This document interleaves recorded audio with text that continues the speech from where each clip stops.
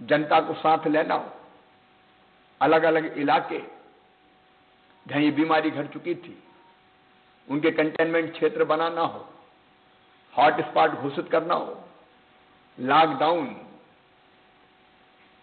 कुछ नगरों को सील करना, अनेकों तरह की व्यवस्थाएँ आपके सहयोग से बनाई। और अब उन व्यवस्थाओं का परिणाम है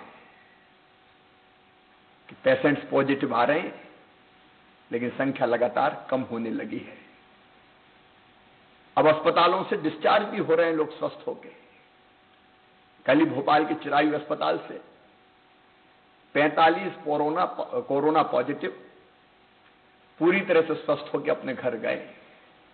मेरे बहनों और भाइयों, इस महामारी से डरने की ज़रूरत नहीं है, सावधान रहने की आवश्यकता है। समय पर अगर टेस्ट हो जाए, बीमारी पता चल जाए लक्षण दिखते ही अगर दिखा लिया जाए तो ये सर्दी जुकाम और खांसी से, बुखार से बड़ी बीमारी नहीं है।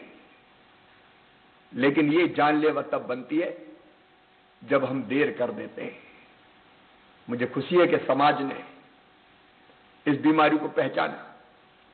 अब सब सहयोग कर रहे हैं और उसी का परिणाम है कि धीरे धीरे सकारात्मक परिणाम आने लगे हैं।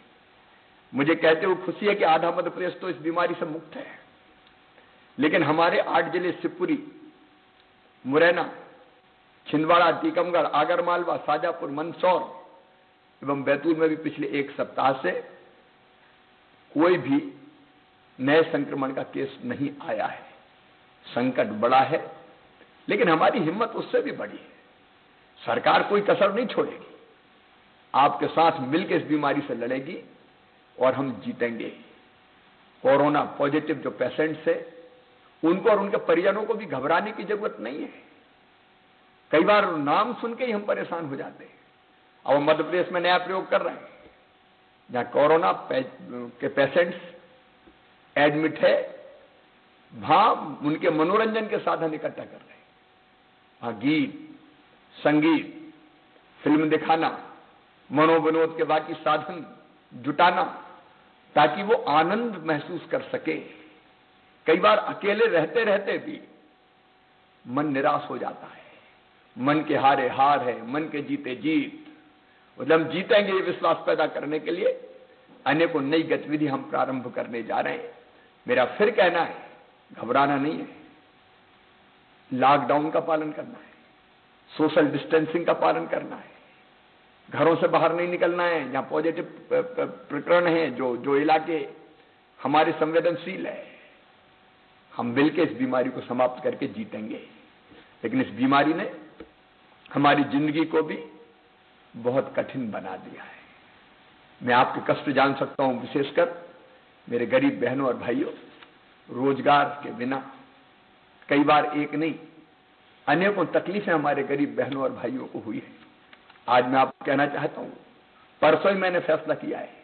गरीबों के लिए जो योजना संबल बनी थी, नई आशा की किरण लेके आई थी, वो संबल योजना पिछली सरकार ने बंद कर दी थी। हमने संबल योजना फिर से चालू करने का फैसला किया है।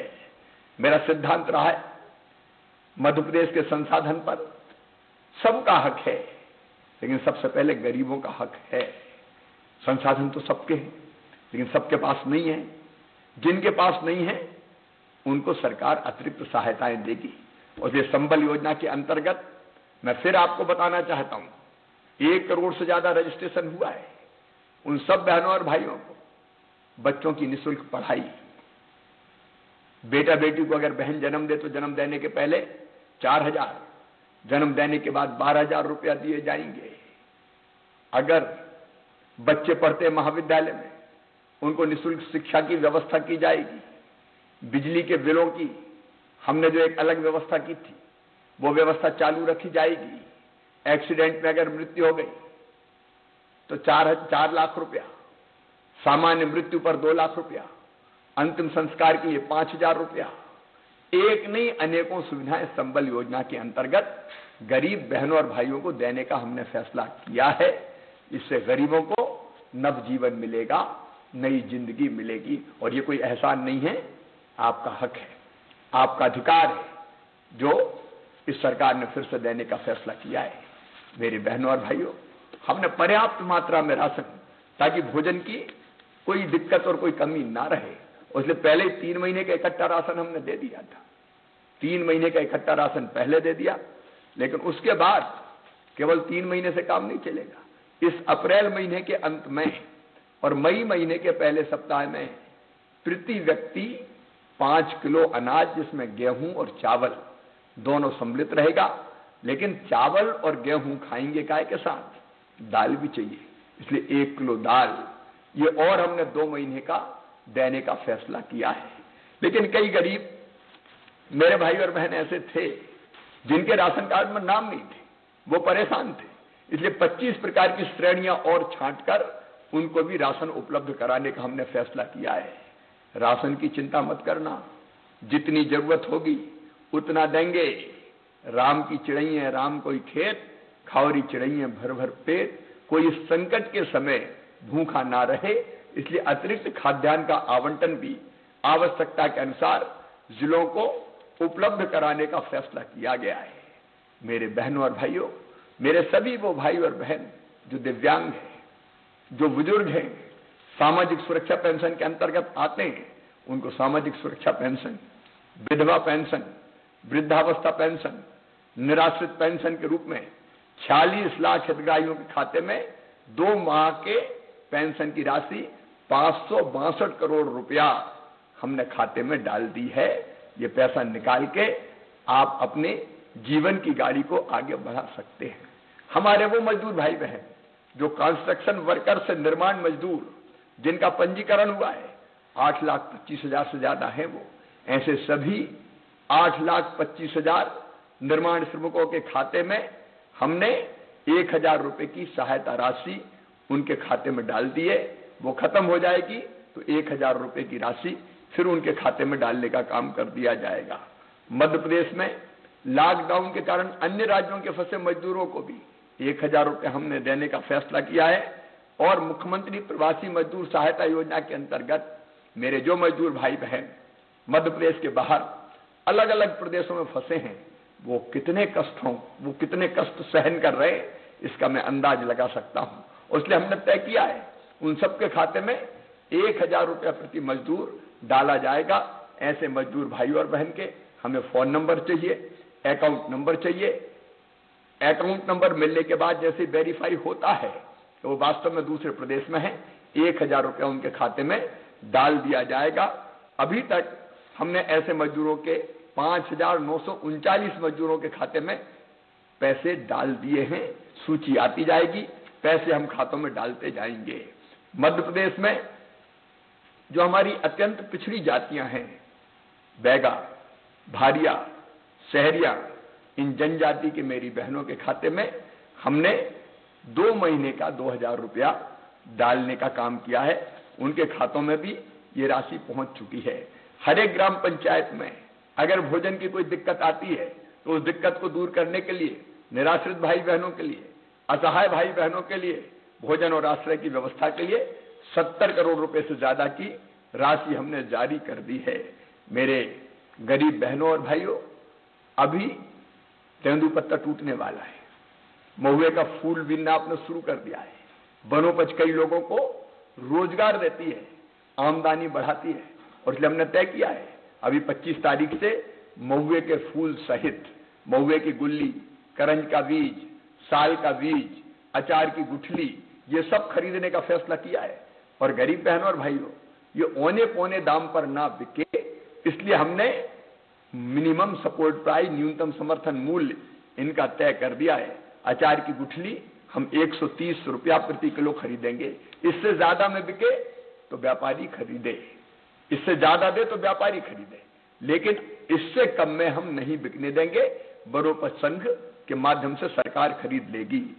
पलास लाख 150 रुपया प्रति किलो, कुसुम लाख 230 रुपया प्रति किलो, हर्रा 20 रुपया प्रति किलो बयाड़ा 25 रुपया प्रति किलो हमारे महुए का फूल 35 रुपया प्रति किलो महुए की गुल्ली 35 रुपया प्रति किलो अलग अलग दरें हमने तय करके इनको खरीदने का फैसला किया तो ओने पौने दाम पर मत बेचना। इंतज़ार करना 25 तारीख से हम खरीदने वाले हैं। आप जितना बीन के लाओगे, सरकार खरीदेगी। तेंदु पत्ता है, उसकी तुड़ाई भी शुरू होने वाली है। पच्चीस सौ रुपया प्रति मानक बोरा की दर से उसकी मजदूरी देने का भी हम काम करेंगे। मेरे प्रिय बहनों और भाइयों, मैं आप सबको आश्वस्त करना चाहता हूँ। रोज़गार की कोई समस्या नहीं रहने देंगे। मई महीने के प्रथम सप्ताह तक हम ग्रामीण क्षेत्रों में कम से कम 10 लाख रोज़गार के अवसर रोज सृजित कर देंगे ताकि आपको रोजी रोटी की दिक्कत ना हो। लेकिन याद रखिए, उन्हीं जिलों में जहाँ संक्रमण नहीं है, जहाँ संक्रमण ज़्यादा है क्राइसिस मैनेजमेंट ग्रुप से बात करके कौन सी गतिविधि शुरू करनी चाहिए, कौन सी नहीं करनी चाहिए, ये हम तय करेंगे। मेरे किसान बहनों और भाइयों, मैं आपसे भी निवेदन करना चाहता हूँ। हमारी सरकार गरीबों की, हमारी सरकार किसानों की सरकार है। और इसलिए हमने आते ही तय किया, मुख्यमंत्री बनते ही, किसान क्रेडिट कार्ड के भुगतान की अंतिम तिथि 31 मई हमने कर दी, क्योंकि इस संकट में किसान पैसा कहाँ से लाता? पिछली सरकार ने आपके फ़सल बीमा योजना की राशि दबा ली थी। बाईस करोड़ रुपए प्रीमियम नहीं दिया। उसने फ़सल बीमा योजना की राशि नहीं मिली। मैंने आते ही जब यह देखा कि किसानों के साथ छल है धोखा है तत्काल फैसला किया और 2200 करोड़ रुपया फ़सल बीमा योजना की प्रीमियम की राशि मैंने तत्काल जमा कर दी और इसलिए 15 लाख किसानों को 2,990 करोड़ रुपए की राशि फ़सल बीमा योजना के अंतर्गत आपके खाते में डाली जाएगी। एक क्लिक से इस राशि को भी आपके खाते में डालने का काम जल्दी मैं प्रारंभ करूँगा। ये किसान का हक था जो हमने उसको देने का फैसला किया है। मेरे किसान बहनों और भाइयों, आपको पता है, जब मैं पिछली बार मुख्यमंत्री था, हमने ज़ीरो परसेंट ब्याज पर कर्जा देने का फैसला किया था। अब आपको मैं फिर से ये सूचना दे रहा हूँ, खुशखबरी दे रहा हूँ कि हम आगे भी किसान को ज़ीरो परसेंट ब्याज पर कर्जा देंगे ताकि कर्जा उसके ऊपर बोझ ना बने। हमने ये भी तय किया है, किसानों को प्राथमिक कृषि सहकारी साठ समितियों के माध्यम से जो फ़सल ऋण 19-20 में दिया गया था, उसके भुगतान की तिथि 28 मार्च थी। इस संकट के समय किसान कहाँ से पैसा लाता? और इसलिए हमने तय कर दिया है कि अब 31 मई 2020 तक वो राशि जमा की जा सकती है और इसका जो ब्याज होता था 55 करोड़ रुपया, वो हमने सरकार के खजाने से भरने का फैसला किया है ताकि किसानों को दिक्कत ना हो। मेरे किसान बहनों और भाइयों, चिंता मत कीजिए, खाद की व्यवस्था, बीज की व्यवस्था, आदानों की व्यवस्था, वो सब हम ढंग से कर रहे हैं। जिन इलाकों में तीसरी फ़सल होती है वहाँ जहाँ नहर छूट सकती थी, नहर छोड़ के हमने मूंग इत्यादि की फ़सल के लिए पानी दिया है। और कोशिश हमारी ये है कि जहाँ किसान तीसरी फ़सल पैदा करता है उसके लिए पर्याप्त बिजली भी हम किसान को दे दें, ताकि संकट के समय तीसरी फ़सल पैदा करके भी किसान अपनी आमदनी बढ़ा ले। एक निवेदन और आप सबसे करना चाहता हूँ। ये भयानक संकट का समय है। खरीदी की कल्पना करनी इस समय मुश्किल थी। बारदाने नहीं थे। गोडाउन नहीं थे, व्यवस्थाएँ नहीं थी। लेकिन आते ही पहले दिन से मैंने बारदानों की व्यवस्था। आपको पता है कि पश्चिम बंगाल में जूट के कारखाने बंद हो गए। तो हमको जूट के बारदाने नहीं मिल रहे थे। तो हमने प्लास्टिक के बारदाने यहाँ बनवाने का काम युद्ध स्तर पर प्रारंभ किया है।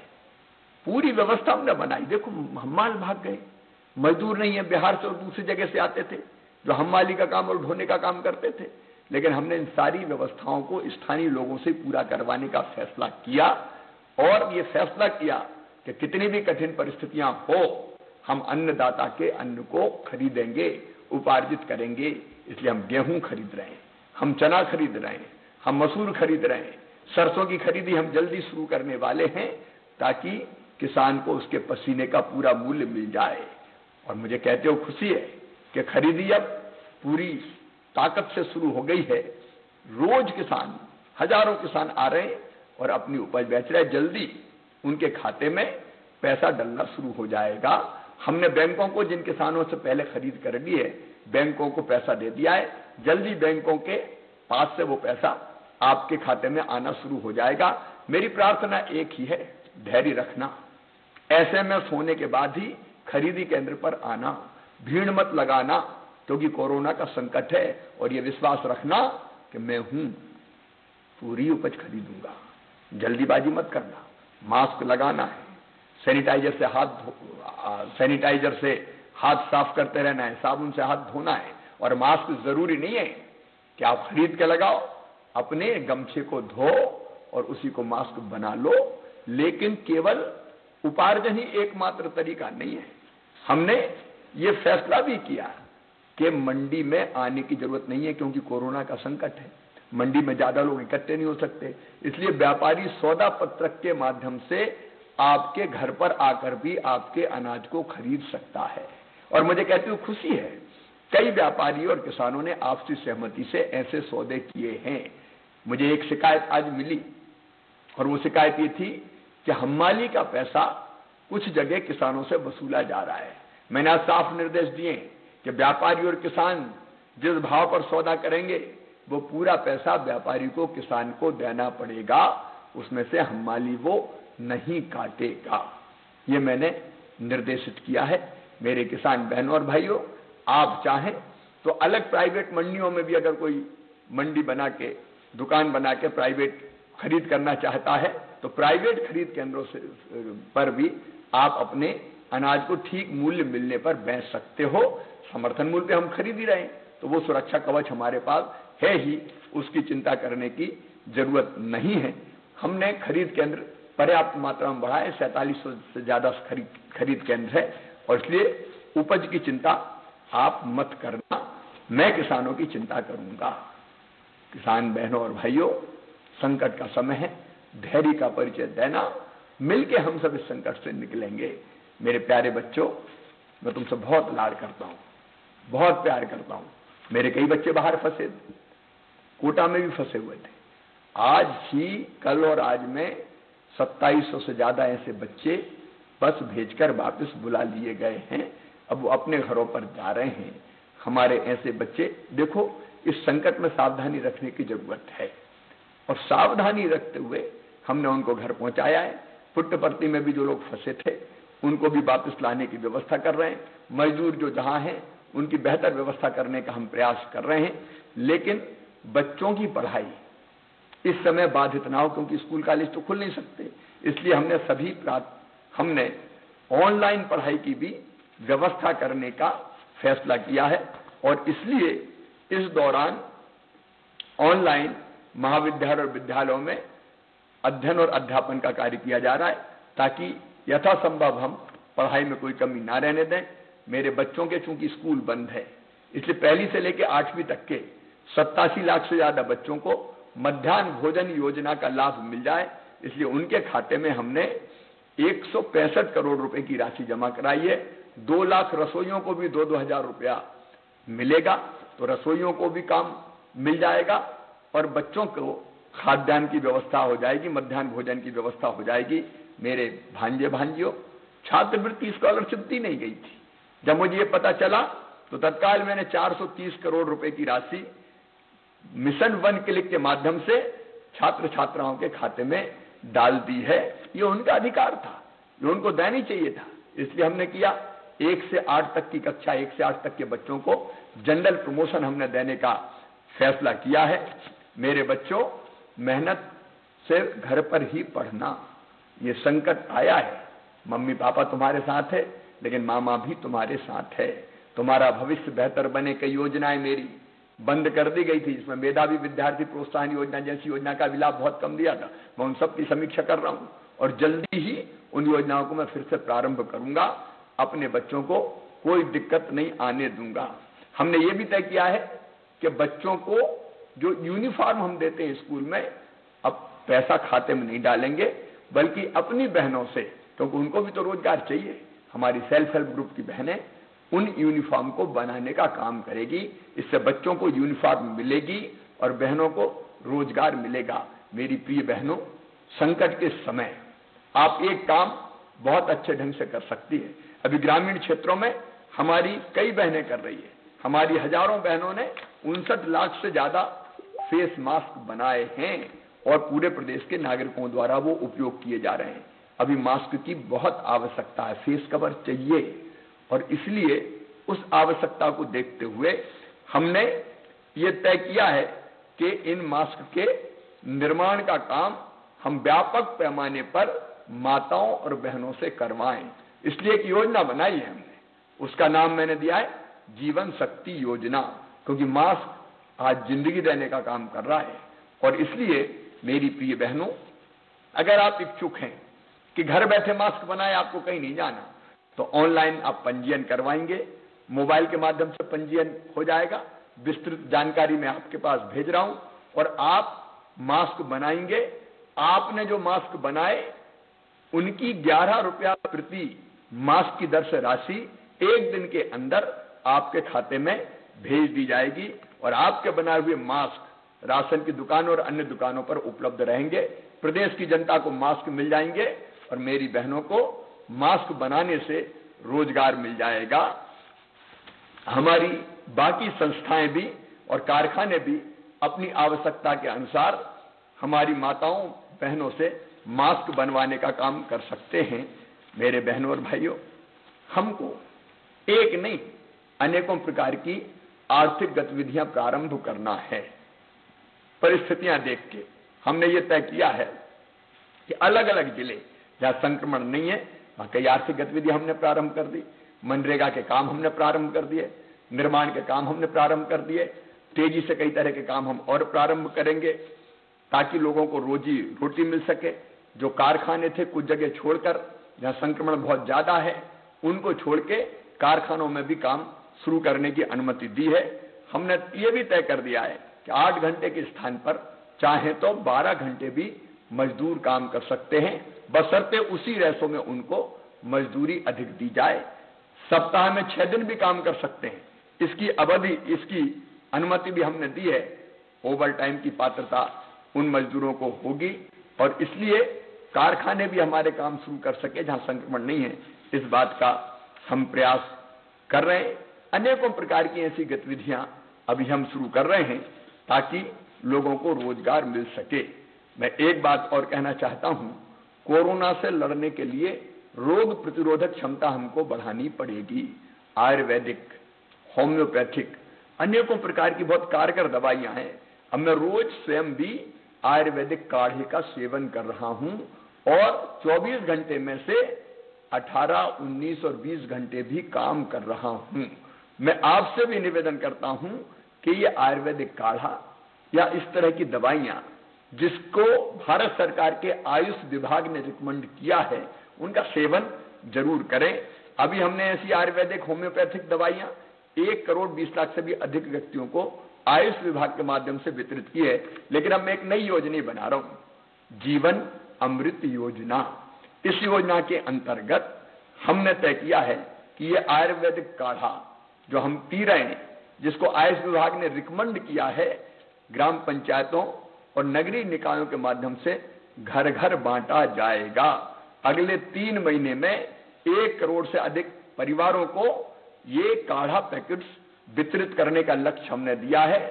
रोग हो जाए उससे बेहतर है, हम प्रतिरोधक क्षमता बढ़ा लें, ताकि रोगी ना बने हम। इसमें आयुर्वेद भी रामबाण है, उसका उपयोग हमको ज़रूर करना चाहिए। मैं आज आभारी हूँ। सचमुच में, हमारे डॉक्टर, हमारा पैरामेडिकल स्टाफ नर्स, हमारे पुलिस के जवान, हमारे पुलिस के अफसर, हमारे नगरीय निकायों के राजस्व के अनेकों कर्मचारी, अधिकारी, और उससे भी ज़्यादा समाज से भी दिन और रात अपनी ज़िंदगी को दाव पे लगा के कोरोना के खिलाफ युद्ध लड़ रहे हैं, लड़ाई लड़ रहे हैं। और इसलिए हमने मुख्यमंत्री कोरोना, योद्धा कल्याण योजना के माध्यम से प्रदेश के कोरोना नियंत्रण के कार्य में लगे हुए शेष सभी कर्मियों के लिए भी अनहोनी हो जाने पर राज्य सरकार की ओर से 50 लाख रुपए की सहायता प्रदान करने का फैसला किया है।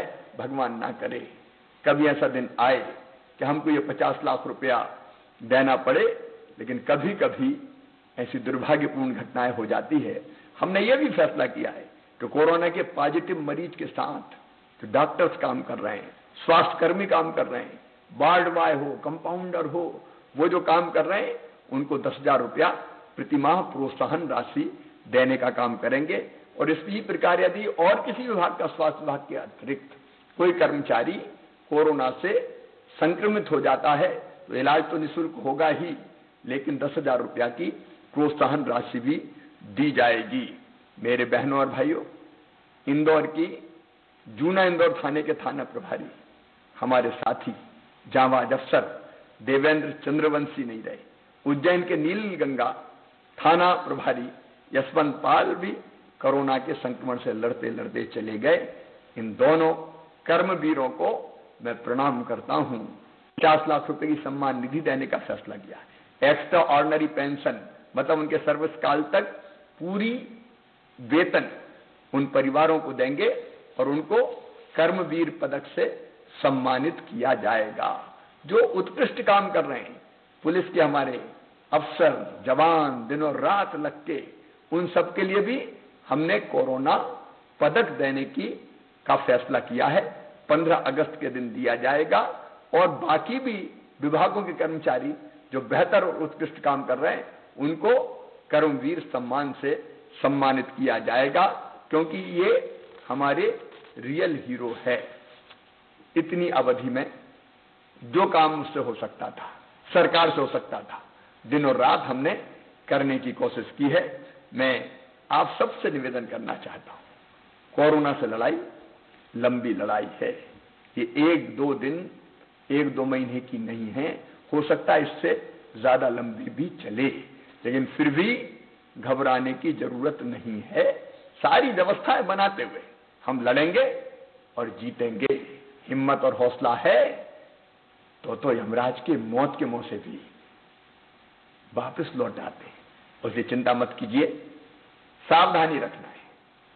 जितनी चीज़ें पहले बताई गई है माननीय प्रधानमंत्री जी और उनके नेतृत्व में भारत के प्रधानमंत्री ऐसे योद्धा हैं कि सारी दुनिया कह रही है कि कोरोना से लड़ाई में सबसे सार्थक प्रयास अगर किए है, नेतृत्व अगर दिया है तो हमारे प्रिय प्रधानमंत्री श्रीमान नरेंद्र मोदी जी ने दिया है।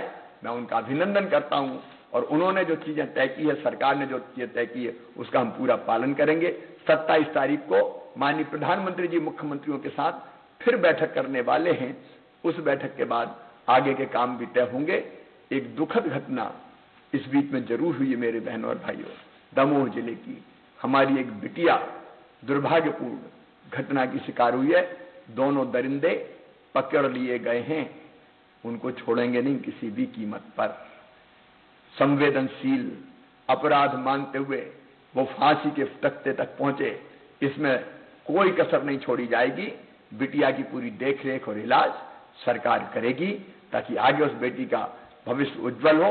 मैं आप सबसे निवेदन करना चाहता हूँ, आप हिम्मत और हौसले रखिए मिलकर हम लड़ेंगे। और एक बात और, ये चुनौती है कोरोना का संकट। ये चुनौती है, लेकिन इस चुनौती से हम घबराएँगे नहीं। इस चुनौती को अवसर में बदलेंगे। मध्य प्रदेश में रोज़गार के नए अवसर सृजित करेंगे। अर्थव्यवस्था ध्वस्त है, लेकिन मैं पैसे की कमी की बात भी नहीं करूँगा। व्यवस्थाएँ करेंगे और आगे बढ़ेंगे। मुझे पूरा विश्वास है, आप और हम मिलके कोरोना को भी हराएँगे। और मध्य प्रदेश को आगे बढ़ाने का एक नया इतिहास भी रचेंगे। आप सबको बहुत बहुत धन्यवाद। नमस्कार।